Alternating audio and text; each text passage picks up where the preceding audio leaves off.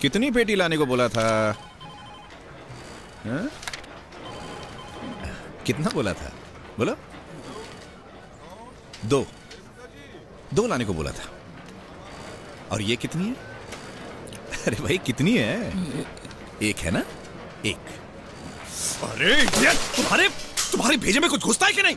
एक कान से सुनता है दूसरे से निकाल देता है। क्या क्या करूँ मैं तुम्हारा बचपन में सही पोषण न मिले तो उसका असर ज़िंदगी भर रहता है। देर से समझ आना, याददाश्त कमज़ोर होना बार बार बीमार पड़ना, ये सब कुपोषण के लक्षण हो सकते हैं। कुपोषण यानी सही पोषण का न मिलना। गर्भ से लेके जन्म के पहले दो साल बच्चों में इसका सबसे ज़्यादा खतरा होता है। आज देश का लगभग हर दूसरा बच्चा कुपोषण का शिकार है, यानी शरीर और दिमाग से कमज़ोर।